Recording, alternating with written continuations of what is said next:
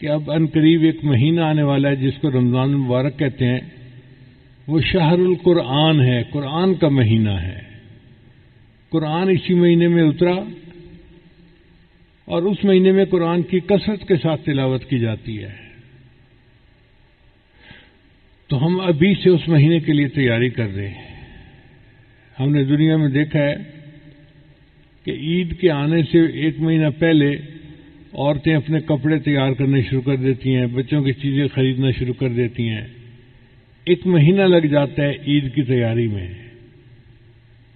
तो भाई रमज़ान मुबारक का महीना शाहरुल कुरान है, उसकी आमद के लिए हम भी अभी से तैयारी शुरू कर दें। और रमज़ान की तैयारी क्या है? एक तो अपने गुनाहों से तौबा करें। और दूसरा, अपने काम को इस तरह से समेटें कि रमज़ान शरीफ का वक्त फारिग हो, इबादत के लिए। रोजा सिर्फ़ खाने पीने से रुकने का नाम नहीं है, रोजा अपने आजा को गुनाहों से बचाने का नाम है। तो हम रोज़े को इस तरह रखें कि हम खाने पीने से भी रुके रहें और आजाए जिस्मानी को गुनाहों पे पड़ने से भी बचाए रखें। ये आला दर्जे का रोजा है, सर से लेकर पाँव तक हम रोजादार बन के ज़िंदगी गुजारेंगे। तो उसकी प्रैक्टिस हमें अभी से करनी शुरू कर देनी चाहिए। अगर कोई साहब मोबाइल फ़ोन का इस्तेमाल गलत करते हैं तो अभी से बंद कर दें, प्रैक्टिस करें। शैतान ज़ोर लगाएगा, लेकिन जब आप रजिस्ट करेंगे और कोशिश करेंगे तो अल्लाह इस मुसीबत से जान छुड़ा देंगे। और अगर स्क्रीन पे तमाशे देखते हैं तो देखना छोड़ दें। अल्लाह के लिए छोड़ दें। ये रमज़ान मुबारक की तैयारी है। अपने आप को गुनाहों से बचाना। जैसे इंसान नहा धो के तैयार हो जाता है ना, हम तौबा करके गुनाहों को छोड़ के रमज़ान के लिए तैयार हो जाएँ, फिर रमज़ान की बरकतों से हमें पूरा पूरा अजर मिलेगा। नबी अलैहिस्सलाम के जमाने में कुरान की कसर से तिलावत की जाती थी। किताबों में लिखा है कि अगर तहजद के वक्त कोई बंदा मदीना की गलियों में चलता तो उसे हर घर से शहद के मक्खियों के भिन भिनाने की आवाज़ आती थी। ये शहद के मक्खियों के भिन भिनाने की आवाज़ क्या होती थी? हर घर के लोग कुरान पढ़ रहे होते थे। आज हमारे घरों से ये आवाज़ नहीं आती। इसलिए कि सब सोए हुए होते हैं तो तहजद के वक्त में कुरान का पढ़ना दिलों को धो देता है। अल्लाह फरमाते हैं याई मुजम्मिल कमिल इल्ला कलीला, निसफहू अविन कुसमिन कलीला और जिद अलही वरत्तिल कुरान और नबी अलैहिस्सलाम कई मरतबा आधी रात, कई मरतबा पूरी रात कुरान पढ़ने में गुजार देते थे। सावे कराम भी इसी तरह असल में कुरान की एक लज्जत है। जब वो लज्जत मिल जाती है, फिर इंसान का पढ़े बगैर गुजारा नहीं होता। सईदा उस्मान गनी फरमाया करते थे, लो ताहरत कलूबकुम, अगर तुम्हारे दिल पाक होते, माँ शबे तुम मिन कलाम रब्बे कुम तुम अल्लाह के कलाम को पढ़ने से तुम्हारा दिल ही न भरता। दिल चूँकि गुनाहों में मुलवस होते हैं, लिहाजा हमारा पढ़ने को दिल ही नहीं चाहता। आप देखें, बच्चे को आइसक्रीम दी जाए ना तो उसका खाने को दिल चाहता है। और हर लुकमा खाने पे उसको मज़ा आता है। कुरान मजीद बिल्कुल इसी तरह है। एक एक आयत के पढ़ने पे मज़ा। और कई दफ़ा तो नबी इस्लाम एक एक आयत को बार बार पढ़ के मज़ा जैसे बच्चों के अंदर एक चिंगम होता है, वो मुँह में रखते हैं तो चबाते रहते हैं, घंटों चबाते रहते हैं। मैंने एक बच्चे से पूछा कि तो आप लोग ये क्या मुँह में हर वक्त रखते हैं और चबाते थे कहने लगे, जी, मज़ा आता है। तो बिल्कुल इसी तरह नबी अलैहिस्सलाम एक आयत को पढ़ते थे, मज़ा आता था, फिर पढ़ते थे तो कंधे मुकर्र के मज़े लेते थे। इसको यूँ समझे कि जैसे गर्मी के मौसम में पसीने में शराबूर एक बंदा घर आए और बीवी उसको ठंडा बादाम का शरबत दे। तो हर घूंट पीने का एक अलग मज़ा होता है। इसी तरह कुरान मजीद पढ़ने का एक अलग मज़ा है। मगर मुसीबत यह है कि दिल साफ़ न होने की वजह से हमें वो मज़ा नहीं आता। लिहाजा हम कुरान ही नहीं पढ़ते। दिन नहीं, महीनों गुजर जाते हैं, तिलावत नहीं होती। अंदर खिंच पड़नी चाहिए, अंदर एक तलब होनी चाहिए अल्लाह के कुरान को पढ़ने की। एक नाबालिग आदमी, उसको तो बलूक की लज्जतों का पता ही नहीं।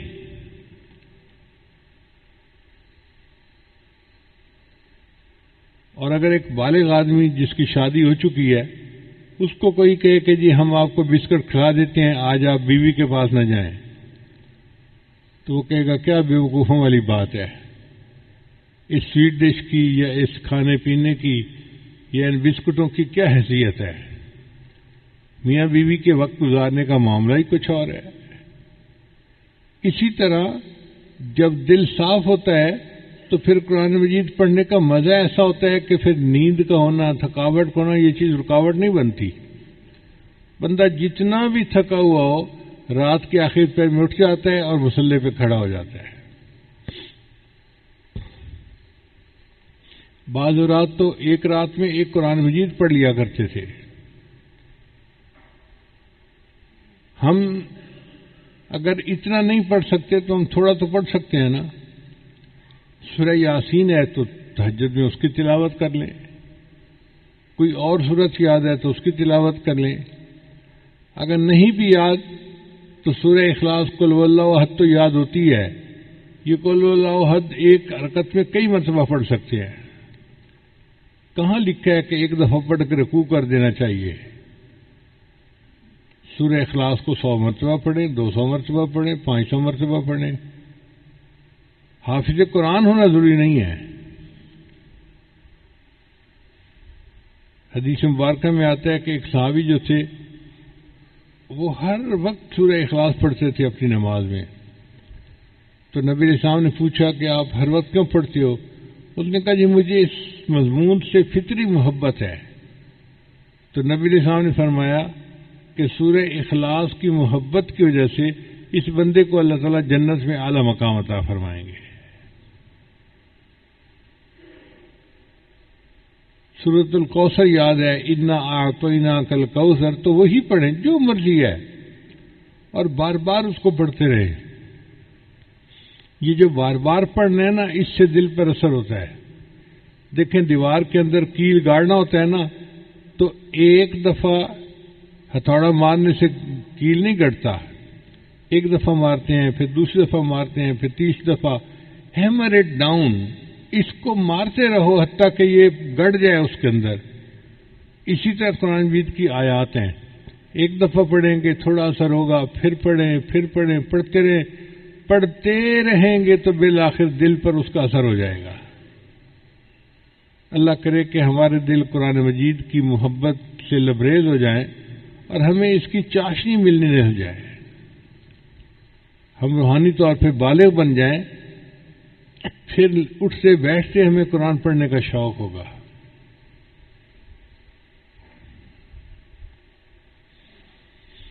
सईना सिद्दीक के अकबलानों के बारे में आता है कि वो कुरान मजीद पढ़ते थे तो सुनने वाले पे असर हो जाता था। यानी उनके कुरान मजीद का असर ऐसा था कि सुनने वाले का दिल मुतवजह हो जाता था। चुनाचे एक मरतबा उन्होंने हबशा हिजरत का इरादा किया। तो जाना चाहते थे तो रास्ते में कुरैश मक्का में से कोई बंदा मिल गया। उसने कहा वो बकर, कहाँ जा रहे हो?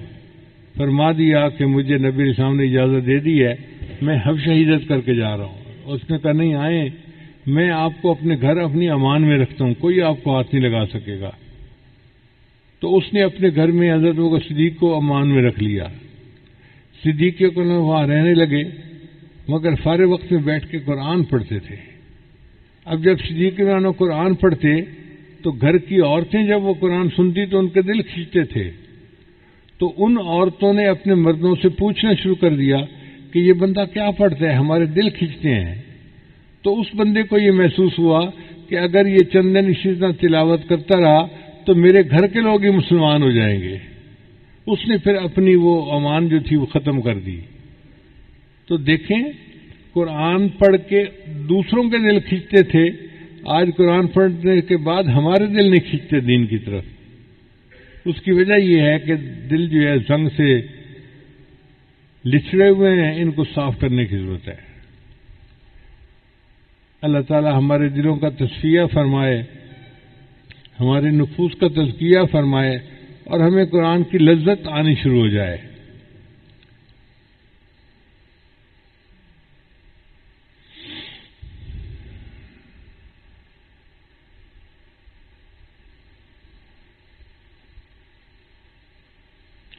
कुरान मजीद की मोहब्बत इंसान के दिल को मुनवर करती है और ईमान को बचाती है।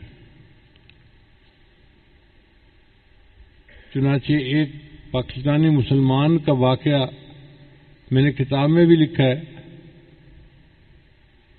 कि वो अमेरिका में इंजीनियर की जॉब करता था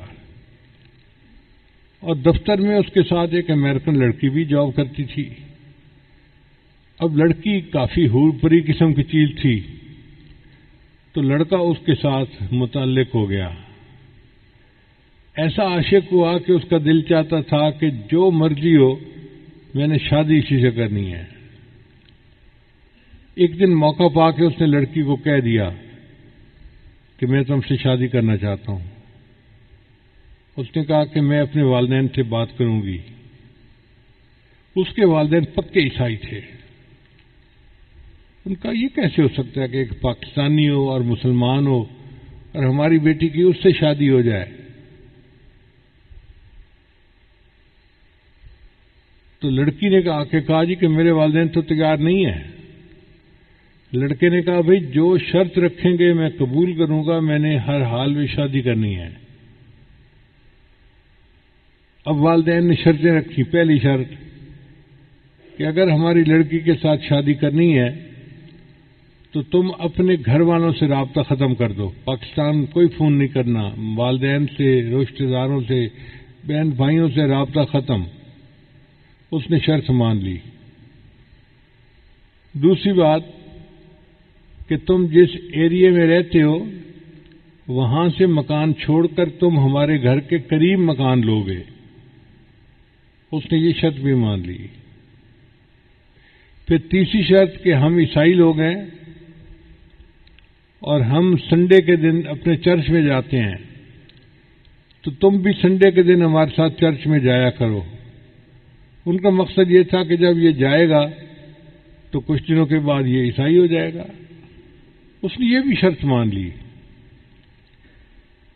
फिर उन्होंने एक शर्त और रखी कि हम कोई चीज़ बैठ के खाएँगे ना तो ये इनकार नहीं करेंगे कि मैं ये नहीं खा सकता, ये नहीं खा सकता, ये नहीं खा सकता। जो हम खाएँगे, इसको खाना पड़ेगा। मकसद ये कि जबिया का गोश्त है, ये बगैर जबिया के या सुअर का गोश्त है, ये जो मर्ज़ी है, ये खाएगा। लड़के ने ये भी बात मान ली। आप यूँ समझे कि लड़के ने उसकी खातिर हर बात को कबूल कर लिया। तो माँ बाप कहने लगे, ठीक है, अगर ये अपना दीन छोड़ के हमारी तरफ़ बनना चाहता है तो हम बेटी की शादी कर देंगे। लो जी, शादी हो गई। और शादी के बाद वो पाकिस्तानी लड़का अचानक ही गायब हो गया। न दोस्तों को पता कहाँ गया है, न माँ बाप को पता किसी से रबता ही नहीं। उसने जॉब छोड़ के कोई दूसरी जगह जॉब ले ली और एक शहर से दूसरे शहर मुंतकिल हो गया। सब लोग बड़े हैरान थे। इसको ज़मीन खा गई या आसमान पे चला गया, क्या हुआ इसके साथ? तीन साल इसी तरह गुजर गए। तीन साल के बाद इमाम मस्जिद ने एक दफ़ा फजर की नमाज़ के लिए मस्जिद खोली। तो ये पाकिस्तानी साहब जो थे, ये मस्जिद में आए नमाज़ पढ़ने के लिए।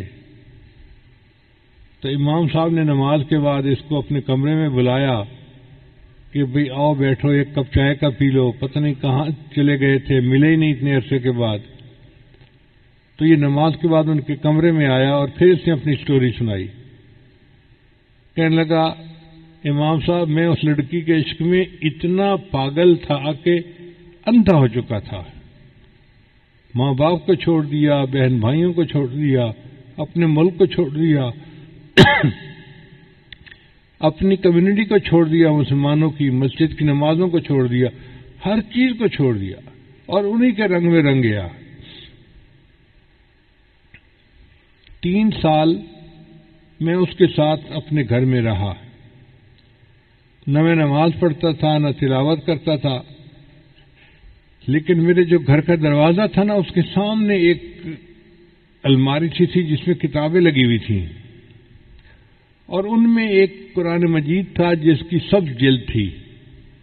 तो आते जाते मैं उस कुरान को मोहब्बत की नज़र से देखता था, और अपने दिल में नादम शर्मिंदा होता था, या अल्लाह, तेरा कुरान सच्चा है और मैं गंदा हूँ और मैं अपने नफ्स की ख्वाहिश के पीछे इस लड़की के साथ ताल्लुक जोड़ बैठा हूँ तू मुझे माफ़ कर दे।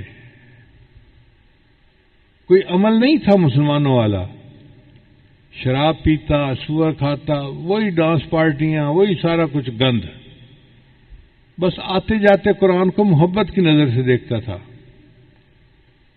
कहने लगा, एक दिन मैं घर आया तो मैंने देखा कि कुरान मजीद अपनी जगह पे पड़ा हुआ नहीं था। तो मैंने बीवी से पूछा कि एक सब्ज किताब यहाँ थी, वो कहाँ गई? उसने कहा, मैंने घर की सफ़ाई की और जिन किताबों को ना आप पढ़ते हैं, ना मैं पढ़ती हूँ, मैंने उन फालतू किताबों को ट्रैश कैन में फेंक दिया है। गंद का टोकरा जिसको कहते हैं। कहने लगे, जैसे ही मैंने सुना तो मैं तो फ़ौरन भागा बाहर की तरफ़ और जो ट्रैश कैन पड़ा हुआ था, उसमें मैंने वो किताब निकाली। और मैं उसको चूम रहा हूँ, और मैं अल्लाह से माफ़ी मांग रहा हूँ कि या अल्लाह, ये तेरा कलाम था, तेरी किताब थी, हमने इतनी गुस्ताखी की कि इसको रद्दी की टोकरी में फेंक दिया। मैं उसको ले आया और घर आके रखा। तो बीवी मुझसे पूछने लगी कि तुम ये क्या जज्बाती काम कर रहे हो? तब मैंने उसे बताया कि ये तो अल्लाह का कुरान है और मैं मोहब्बत की नज़र से इसको देखता था। उसने कहा अच्छा तुम्हारे अंदर से मुसलमानों वाले जरासीम में भी खत्म नहीं हुए। मैं जाके अपने घर वालों को बताती हूँ। वो बरीफ केस उठा के अपने माँ बाप को बताने चली गई और मैं मस्जिद में नमाज़ पढ़ने के लिए अपने रब को मनाने के लिए आ गया। कुरान मजीद की मोहब्बत ने उसके ईमान को बचा लिया। वो लौट आया अपनी असल की तरफ़। आज फितना का दौर है दजाली दौर है। इस दौर में ईमान को बचाने के लिए कुरान की मोहब्बत इंतहाई अहम है। लिहाजा कुरान मजीद की तिलावत भी करें, इसका तर्जमा, इसकी तफसीर भी पढ़ें, और इसको जितना याद कर सकते हैं, याद भी करें। कुरान मजीद के साथ नत्थी हो जाएँ, ताकि हमारा ईमान महफूज रहे। तो रमज़ान का महीना आ रहा है। इस महीने में कुरान मजीद के साथ अपनी मोहब्बत जो है बढ़ा लीजिए। अपने ताल्लुक को बढ़ा लीजिए और फिर इसकी बरकतें आप देखेंगे कि अल्लाह ताला ईमान को बढ़ाएँगे। अल्लाह ताला अपना कुर्बता फरमाएँगे और इस कुरान की बरकत से अल्लाह ताला हमारे ईमान की हिफाजत फरमाएँगे। दुआ है अल्लाह ताला हमारे ईमान की हिफाजत फरमाए। और हमें रमज़ान मुबारक की कदर करने की तोफ़ी अता फरमाए। शाबान का महीना तो शुरू हो गया, रमज़ान के आने में देर नहीं लगनी। देखते देखते रमज़ान आ जाएगा। व आखिर दावाना अनिलहमदिल्ला रबालमीन